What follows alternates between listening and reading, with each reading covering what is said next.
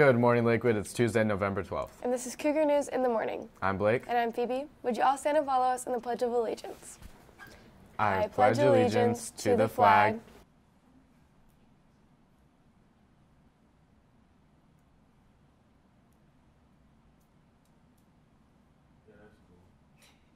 We hope you had a great three day weekend and found time to thank a veteran for their service.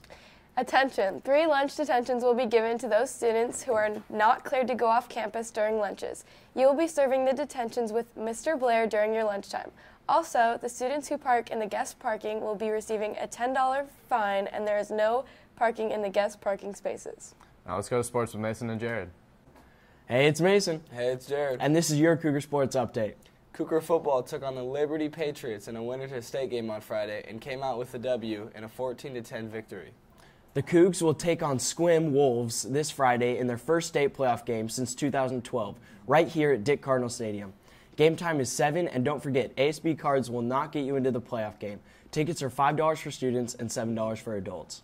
There will be a meeting today for all those interested in girls basketball in room 1303 by the school store during both lunches. Stop in and find out everything you want to know about the team.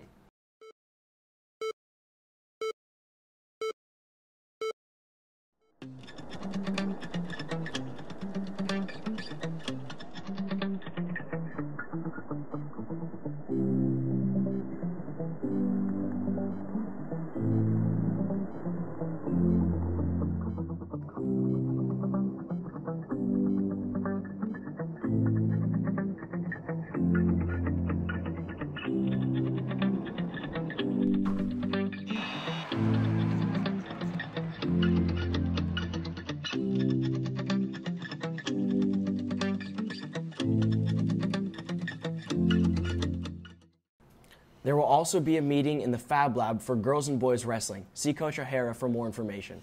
Saturday at the State Cross Country Championship, Alex Jensen, making his second consecutive trip to state, improved his time on the state course by 41 seconds to finish in 62nd place out of 166 competitors.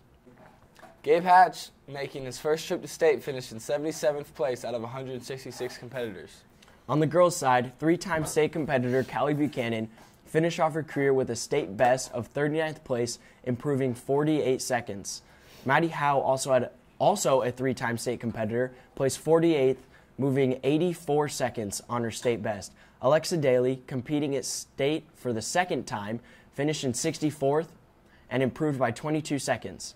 Senior JD Yargis, in her first state appearance, placed 70th out of 155 competitors. The coaches would like to thank more than 30 teammates and parents who made the trek to Pasco to cheer on the team. They would also like to thank Chad and Ryan Hudson and Coach Soward's wife, Tammy, for helping with the timing at state. Cross country athletes, remember that awards night is Tuesday, November 19th at 6 p.m. in the theater. Please return your uniforms to Coach Soward's before then. The team would like to congratulate the Cougar football team on their victory Friday and wish them good luck this Friday. And that's it for sports. Go Cougs. Thank you, Mason and Jared. Tomorrow we have bingo going on at both lunches and a chance to sign up for the Holiday Talent Show on December 18th. Speaking of bingo, we'll have bingo night Wednesday as well, and there will be pizza. Game time is 6:30. One week from today, during both lunches, we'll have one of the top female duos in the Pacific Northwest performing in a fundraiser for NOAA. Bring your donations and your enthusiasm as Funeral Dove performs for Lakewood.